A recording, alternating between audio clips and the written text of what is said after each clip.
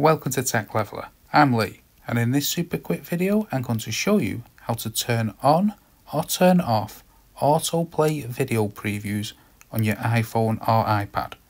So whether you're on the iPad or the iPhone, you first want to go into your settings. Once you're in the settings, you want to come down slightly to find accessibility and then tap into that.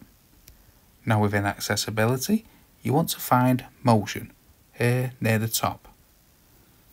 Now within motion, you'll see at the very bottom, the last option, auto play video previews. And what you want to do, if you want to turn it off, is tap this so it's greyed out like that.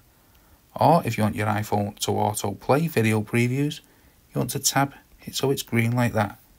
So that's how to turn on or turn off auto play videos previews on your iPhone or iPad. Hope you found that video helpful. If you did, smash the like, smash the subscribe, of all, thanks so much for watching.